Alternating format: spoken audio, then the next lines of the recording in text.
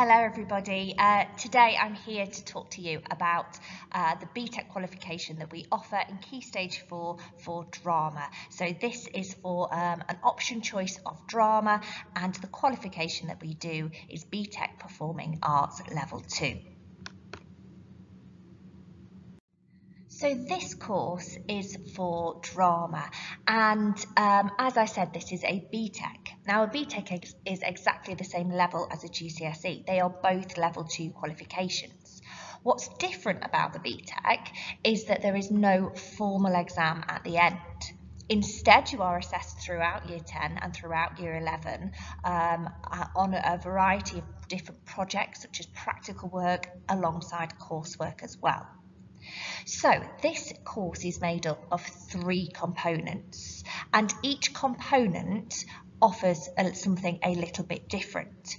These three components give you the opportunity to perform scripted plays, to also create your own drama work and study different drama practitioners. So they're people that are influential within the world of drama.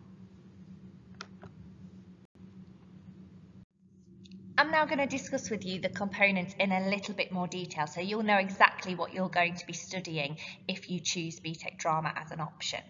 So component one um, gives the opportunity to study three different scripted plays. Those three plays all have to be in a different style. So for example, we currently study The Curious Incident of the Dog in the Night Time, uh, which is in physical theatre. We look at Too Much Punch for Judy, which is in theatre and education. And we look at DNA, which is in naturalism.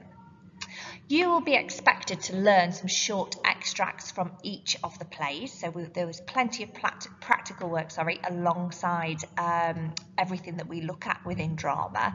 And you also will be doing written coursework regarding these three plays and exploring them and looking at how these plays are created.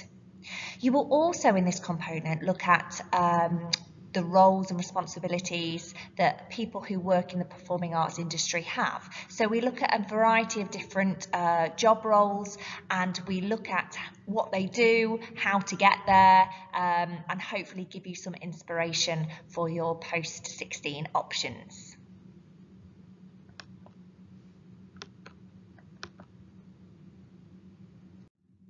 Component two is all about developing skills and techniques in the performing arts. So here we look at one scripted play and you perform that scripted play. What you will need to do is work quite closely um, with your group, with your class, um, to bring this play to life.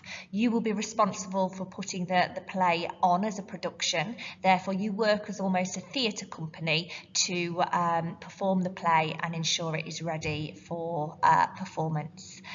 You will um, develop lots and lots of skills on this component, component about acting, about um, the style of the play that you choose to perform, getting into character. Um, you will also plan your development through a logbook. So there is an element of written work alongside this, but this component is really heavily practical. And then finally, component three is called responding to a brief. This is an external exam. In January of your year 11, you will have an exam paper published which details to us um, a stimulus. You have to create your own piece of drama around the stimulus and then write about how your drama fits the requirements of the stimulus. This is different every year, so every January there is a new stimulus. The stimulus this year is Better Together, um, and currently Year 11 are working really hard to uh, create drama that fits around the stimulus of Better Together. So this one is always different, however we don't do this one until Year 11. Component 1 and Component 2 are done in Year 10.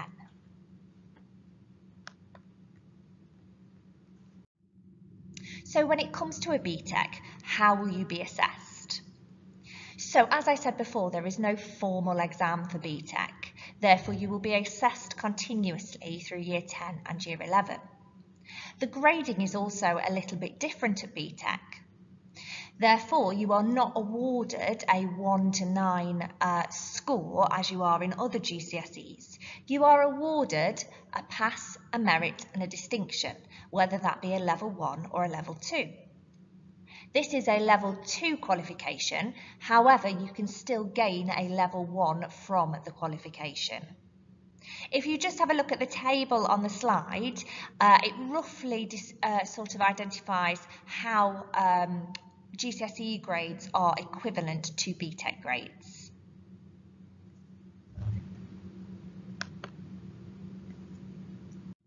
So who is this course right for? It's really, really important that you like drama.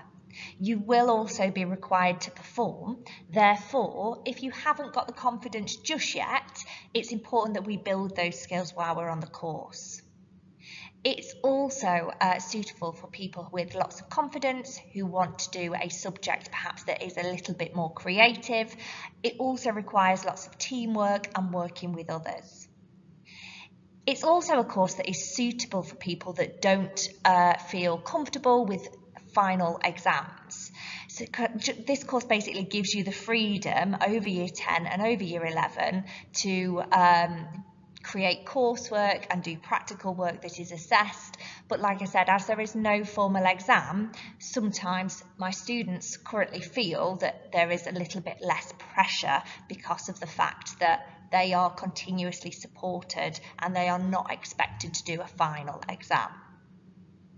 Obviously, if you want a career in performing arts, this is a fantastic course to do, but it's not always imperative that you want a career in performing arts. There are many transferable skills when it comes to drama. Obviously, you are having to work in groups for a lot of your time on this course. You work in component two as a theatre company together, therefore communication skills are really developed throughout this course. Also skills such as problem solving, leadership, organisation, timekeeping are also quite heavily developed on the course. Confidence is obviously a really, really important skill and something that is developed over the time on the BTEC course. Uh, so many, many transferable skills that you will be able to use in any GCSE option, uh, but also into any career as well. So this course obviously offers quite a lot of information, uh, especially in component one about job roles within the performing arts industry. And there are many potential career pathways when it comes to performing arts. Now I've just listed obviously some jobs within the performing arts industry, but like I said on the previous slide, there are lots and lots of skills that would translate into any career path. Also teaching, I did a degree um, in drama, I did a GCSE in, in drama, um, so obviously um, teaching is one of these uh, professions to come from drama as well. And then finally, if you have any questions about the BTEC course, please do drop me an email. Um, my email address is rturner at davidnieper.academy. If you'd like to see a little bit more about performing arts and what we do in Key Stage 4, please do follow us on Twitter at Nieper Perform. There are some videos on there of current cohorts and the work that they have been doing. Now, BTEC Drama is a fantastic course, and I would really, really like to see uh, people in Year 9 choose this course as we've got such talent within this year group. Therefore, please do get in touch, and uh, thank you so much for watching this video.